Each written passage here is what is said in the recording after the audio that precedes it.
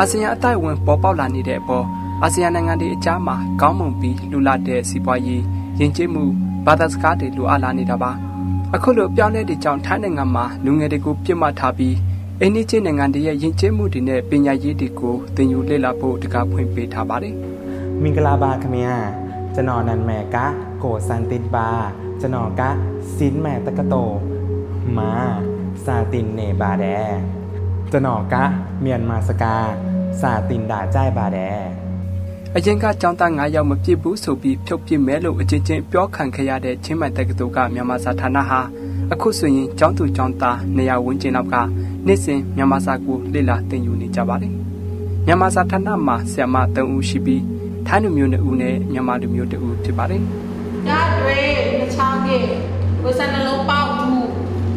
ကျမဒီကျောင်းကိုစရောက်တာ2008ခုနှစ်ခရဲစရောက်တယ်အဲ့ကတုန်းကကျတော့မြန်မာစာသင်တဲ့ကျောင်းသားကပိတ်မများဘူး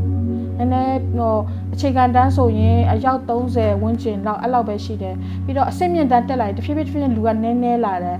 ဟိုနောက်ဆုံးအဆင့်မြင့်တန်းဆိုတယောက်နှစ်ယောက်လောက်ပဲကျန်တော့တယ်ဆရာမအလုံးတိတဲ့ဆရာမ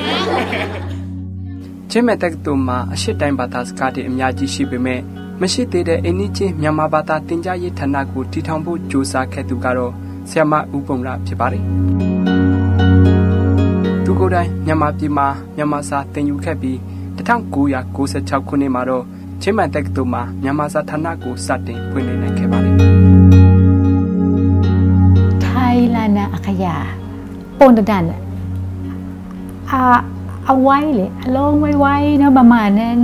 နဲ့နဲ့စင်နဲ့လေဆံမအိုးအဲ့ဒါစိတ်ဝင်စားစရာကောင်းတယ်အဲ့ဒါကြောင့်အဲ့ဒါစာလေးလာတယ်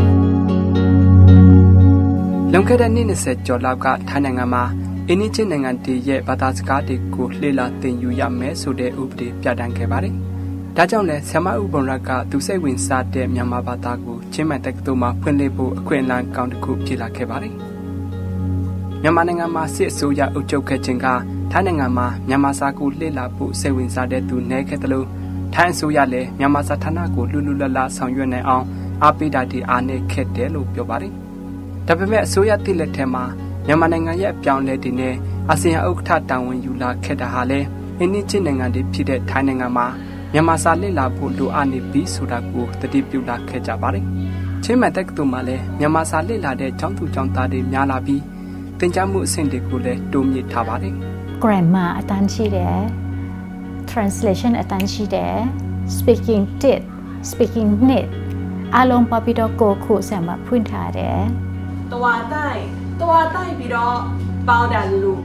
ထိုင်းအစိုးရယုံတင်မှာလဲမြန်မာစာတသူတွေကိုလက်စာပို့ပေးလာတာအလောက်ကန်အခွင့်အလမ်းတွေပို့ပေးလာတာဟာလဲမြန်မာစာကိုလေ့လာဖို့ထိုင်းကျောင်းသူကျောင်းသားတွေကိုတွန်းအားပေးစေခဲ့ပါတယ်။ကျောင်းသူကျောင်းသားတွေဟာလဲ မြန်မာနဲ့စီးပွားရေးပညာရေးအပါအဝင်ကိုပိုင်လုပ်ငန်းတွေဆောင်ရွက်နိုင်ဖို့ရည်ရွယ်ချက်ရည်မှန်းချက်တွေနဲ့မြန်မာစာကိုလာရောက်လေ့လာခဲ့ကြပါတယ်။ဘာမာနန်မဲကာမာလာလာထုံပါ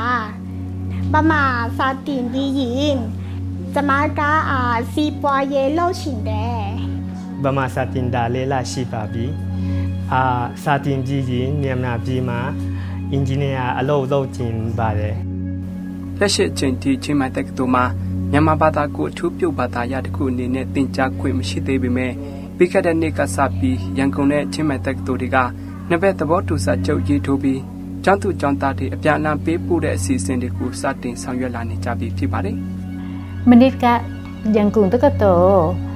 အာကျောက်သူကျောက်သားเนาะဒီမှာလာပြီးတော့ထိုင်းစာထိုင်းရင်ကျင်းမိုးလာလေးလာတယ်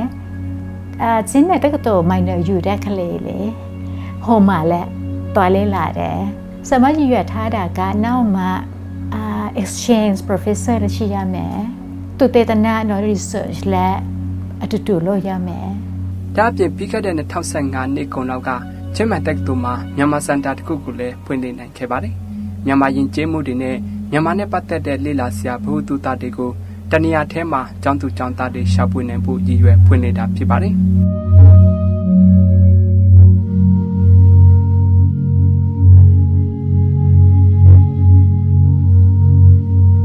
မယ့်စတဲ့နေ့မှာတော့ချင်းမန်တက်တူမှာမြန်မာစာအထူးပြုဘာသာရတစ်ခုအနေနဲ့သင်ကြားနိုင်အောင်ဆောင်ရွက်သွားမယ်လို့မြန်မာစာဌာနကိုစတင်ဖွင့်လှစ်ခဲ့တဲ့ဆ iam ဥပုံရာကပြောပါတယ်အာဆီယံအတိုင်းဝန်ဖြစ်လာမှာကိုကြိုတင်ပြင်ဆင်တဲ့အနေနဲ့ထိုင်းနိုင်ငံမှာတော့အင်းနီချင်းနိုင်ငံတည်းရဲ့ယဉ်ကျေးမှုဘာသာစကားတွေကိုကျောင်းသူကျောင်းသားတွေလှည့်လာသင်ကြားခွင့်ရအောင်ပြုလုပ်နေကြပြီဖြစ်ပါတယ်ခင်ဗျာ